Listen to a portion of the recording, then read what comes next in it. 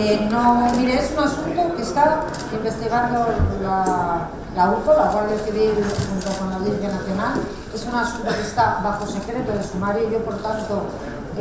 no voy a hacer más declaraciones, porque, insisto, es un asunto que está bajo secreto de sumario. Decir exclusivamente que desde la Comunidad de Madrid nosotros estamos colaborando absolutamente con la justicia, que en su momento remitimos a la Fiscalía una información referida al canal de Isabel II y que desde ese momento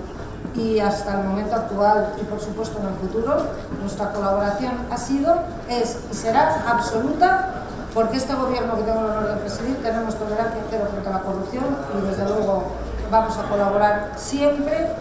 con cualquier asunto judicial, en todo lo que nos requiera la justicia y en este asunto también, por supuesto. O sea, que no sé se va a traducir una declaración como testigo del juez de Velasco. Eh, eh, absolutamente todo lo que nos pida el juez lo haremos, pero no voy a dar datos porque es un asunto que está bajo secreto de sumario y por tanto lo primero que hay que hacer es respetar, y yo indudablemente lo voy a hacer, respetar ese secreto de sumario y si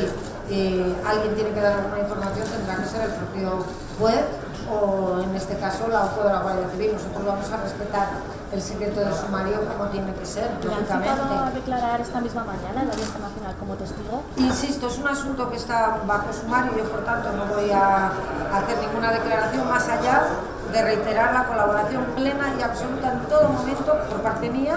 y por parte de todos los miembros del gobierno, por supuesto, y por parte también del consejero de presidencia y presidente del canal de Isabel II, que